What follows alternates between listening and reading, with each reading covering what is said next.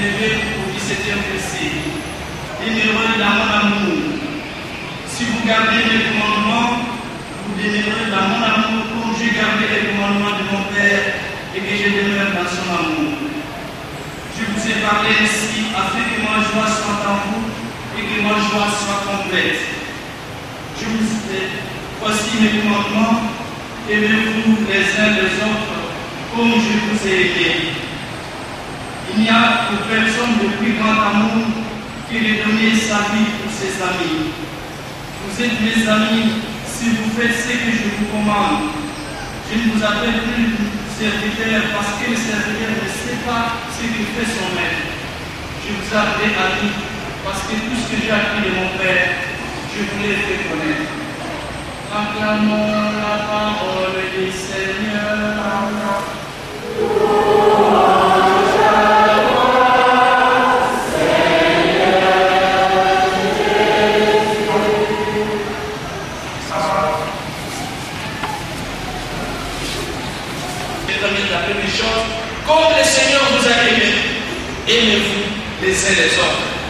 Demeurez dans l'amour du Seigneur vous allez voir que tout sera toujours applaudi devant vous. Ça c'est vrai.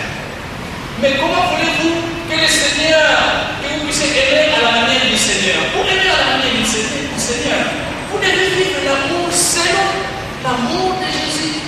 Et l'amour de Jésus-Christ, ce n'est pas comme séquencer des sectes. Ce n'est pas comme séquencer des églises de l'éveil à l'Isa. Aimer cet amour-là, dès que vous êtes vous aimez les uns les autres, comme je vous l'ai toujours dit, vous avez tous les moyens de votre Non. L'amour de l'église catholique, il enseigne, c'est l'amour de la foi.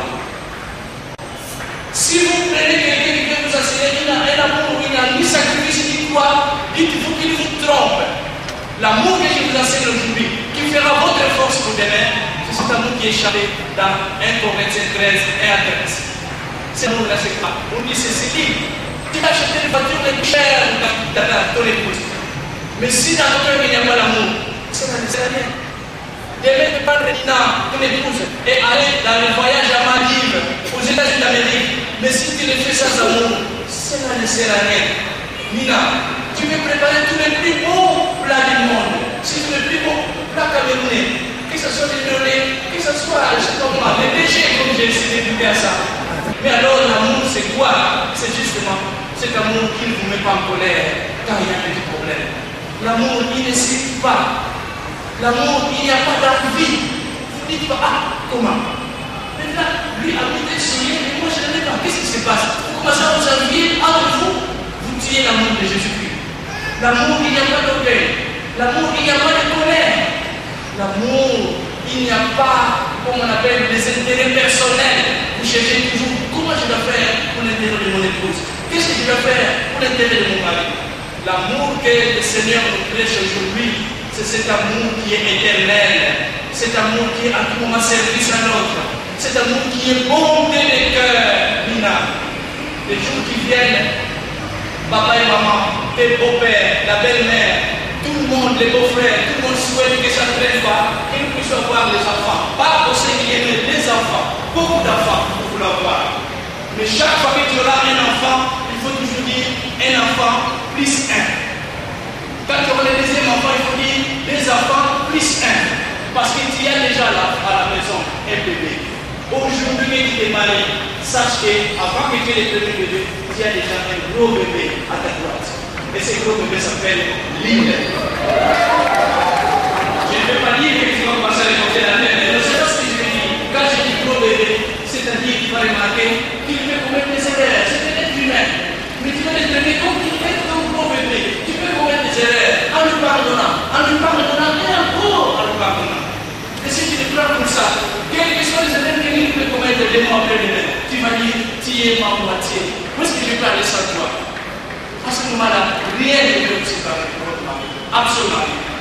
Lui, c'est la même chose. La bonté du cœur. Quand tu rentres du travail, tu es fatigué. Ne faut pas passer directement dans la chambre. Et si tu as regardé là-dessus, il dit, tu là, tu vas manquer au travail, je voulais te voir. Des petits mots. Nina ne te demande pas trop de choses. Il te demande des petits mots d'amour qui nous donnent la force de faire, de faire une bonne cuisine, qui te donnent, la force de t'aimer, la force de vivre avec toi. Des petits mots d'amour qui montrent que dans ton cœur, sans Nina, il ne il il. L'amour, et comment dire, c'est tout ce qui fait que vous croyez en tout, vous espérez tout, vous pardonnez, vous excusez tout.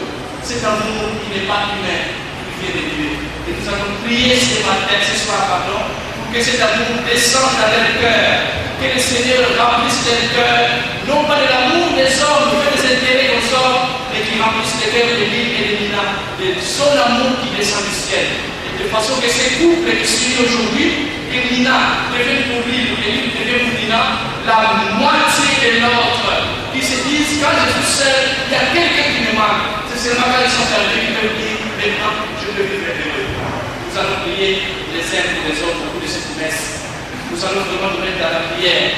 Pour que ce que nous avons entendu dans la première lecture, qu'il nous a dans le livre d'Ézéchiel, que le Seigneur les purifie tous eux, qu'il leur donne non pas un cœur de pierre, mais un cœur de chair, qu'il ne sacralise pas ce que le Seigneur va bénir année. Nous avons tous ici, papa, maman, toute la famille, les hommes, les dames, les amis de la famille, le père, la tous les enfants qui sont ici sont de vous, pour prier pour vous, afin que ce qui est sacré soit pour toute votre vie, jusqu'à votre vieillesse, le Seigneur va vous amener auprès de. Et la seule manière dont vous m'avez dit, l'épouse que je vous ai donnée, est-ce que vous l'avez aimé selon l'amour que je vous ai prêché, c'est 17 octobre 2009 C'est comme ça que nous avons jugé nous. Nina, le Seigneur va te comme ça. L'époux que je t'ai donné, nous allons rendre compte au Seigneur qui veut qu'aujourd'hui votre union soit sacrée, que votre maison soit une église domestique. Ceux qui vont rentrer dedans, les étrangers, les pauvres, les amis, et même ceux qui ne vous aiment pas quand vous entrent dedans, qu'ils trouvent la paix du cœur, qu'ils trouvent l'esprit de Dieu qui repose dans votre union et dans votre maison. Si vous faites comme ça, cette bénédiction qui commence aujourd'hui va se prendre par là toute votre vie. Ceux qui ont des oreilles pour entendre, ceux qui ont un cœur pour accepter,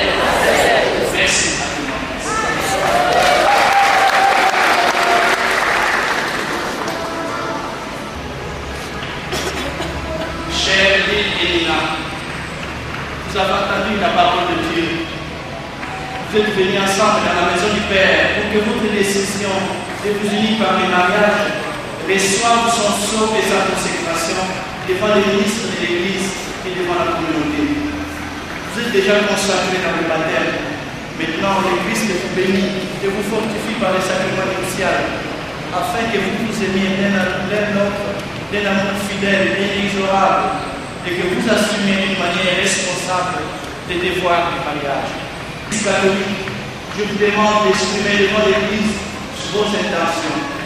Chers Bible et chers Nina, mes enfants, est-ce que vous êtes venus célébrer votre mariage sans aucune contrainte, en pleine liberté et conscient de l'importance de votre décision? Oui. On n'a pas entendu.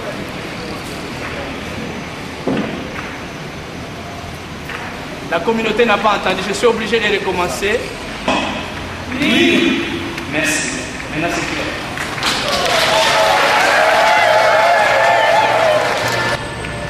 Vous allez vous promettre fidélité. Est-ce que c'est pour toute votre vie?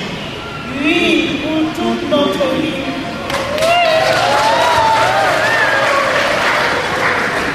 Donc ce n'est pas pour deux semaines, le monde est témoin. Ce n'est pas pour deux semaines, pas pour deux ans, pas pour dix ans, mais pour toute notre vie. Dans le foyer que vous avez fondé, acceptez-vous la responsabilité d'époux et de parents? Oui, nous l'acceptons. Très bien. Accepter la responsabilité des parents et d'époux signifie que même quand vous êtes